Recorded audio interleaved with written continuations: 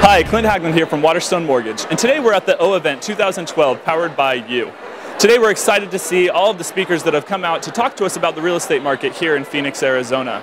We're going to talk to a few of the attendees and see what they have to say about coming out to the O event today. Let's see what their expectations are.